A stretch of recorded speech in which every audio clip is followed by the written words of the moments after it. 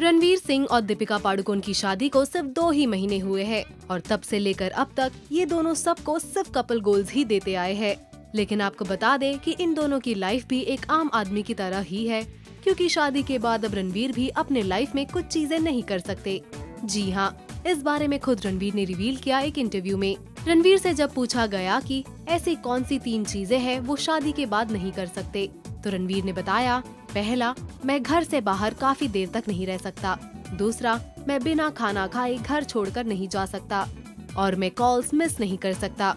रणवीर के इन जवाबों को सुनकर लगता है कि वो अपनी पत्नी दीपिका की हर बात मानते हैं और दीपिका भी अपने पति की लाइफ को अच्छे से मेंटेन कर रही है। अब ये रूल्स तो शायद हर मैरिड कपल की ज़िंदगी में लागू होगी, है ना?